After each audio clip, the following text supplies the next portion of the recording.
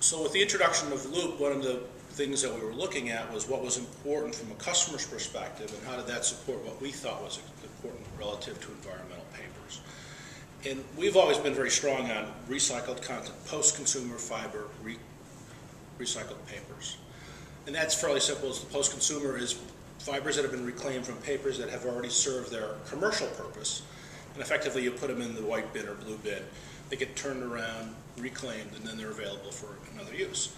We find is that people seem to understand that, that it connects with, they have a very definite impact on what they think is doing the right thing. That's why we think there's an important sense of what recycled papers are and why people are thoughtful about those and perhaps more confused about other types of environmental papers, FSC and others. So we believe that, our research supports that, and so we've put Loop with many recycled offerings, the higher the better where possible. And what we've tried to find is saying, how can we be consistent and communicate to our customers so they're assured of what they're getting? And Mohawk's been a long supporter of Green Seal, independent third-party certifier focused particularly around post-consumer fibered papers. And their methodology is fairly simple, fairly straightforward.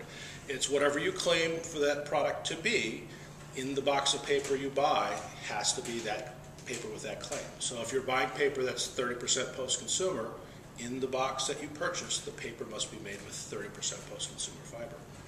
Well, today there's another third-party certifier, FSC, also certifying recycled content. Their methodology is a little different. It's a credit system.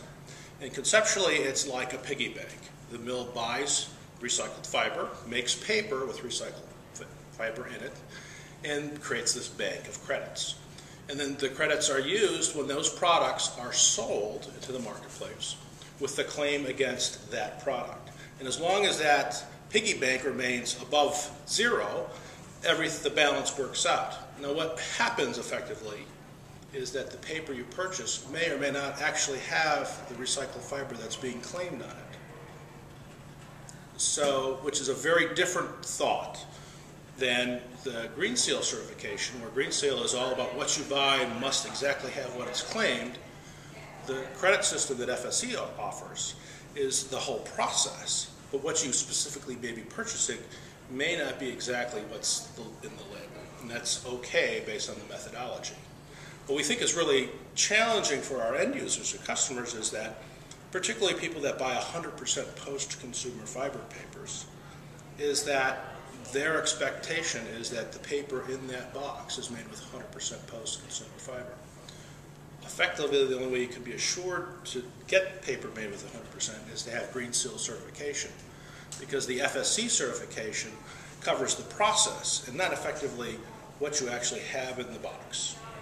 And we think that's a challenge for the marketplace for what people think they understand and why Mohawk papers are only Green Seal certified for recycled content and we don't use the FSC program for recycled